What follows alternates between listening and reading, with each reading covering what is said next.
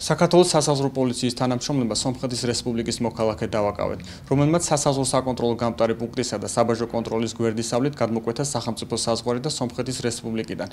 საქართველოსში უკანონო ცეცხლსასროლი და ცივი არაღები გადმოიტანა. გამოძიება საქართველოს სახელმწიფო საზღვრის უკანონოდ გადაკვეთისა და საბაჟო საზღვარზე წესის დარღვევით ცეცხლსასროლი არაღის გადმოტანის ფაქტზე მიმდინარეობს.